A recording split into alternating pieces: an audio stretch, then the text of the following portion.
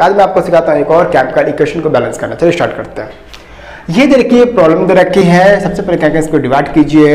L में divide कीजिए and H में डिवाइड कीजिए। डिवाइड करने के बाद क्या इस पार्ट में जितने भी हमारे लिमिट्स दे रखे उसको नोट करिए। हाइड्रोजन टू दे रखा है। सल्फ़र की बात करूँ तो वन ऑक्सीजन देखिए, यहाँ पर क्या दे रखा है? Four plus three equal to seven then carbon is only one then और कैल्शियम की बात करता हूँ तो ओनली वन दे रखा है।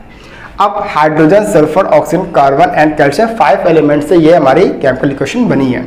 सेम वर्क इधर भी कीजिए।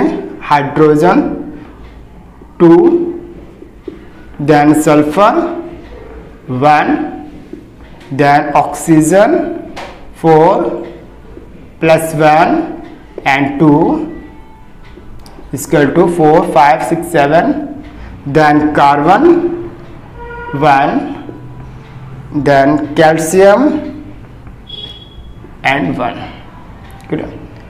One two three four five दे रखे एलिमेंट्स इधर भी, दे रखे, इधर दे रखे। अब क्या करें? दोनों साइड के जो L S and R H S के जो एलिमेंट्स हैं क्या नंबर चेक करते हैं बैलेंस है या नहीं बैलेंस है? Hydrogen two hydrogen two sulphur one sulphur one oxygen seven oxygen seven carbon one carbon one calcium one calcium one ये तो पहले से ही रिएक्शन क्या थे? हमारी बैलेंस थी। तो यही तो मैं आपको सिखा रहा हूँ कि कौन सी रिएक्शन बैलेंस है और कौन सी बैलेंस नहीं है। अगर रिएक्शन बैलेंस नहीं होती तो क्या होता है कि एक स्टेप और बढ़ जाता है। तो ये क्या हो गया? रिएक्शन हमारी बैलेंस हो चुकी है। आप क्या करेंगे? चैनल में अगर पहली बार चैनल को सब्सक्राइब के साथ बेल ज़रूर पुश कीजिए। मिलता है नेक्स्ट थैंक्स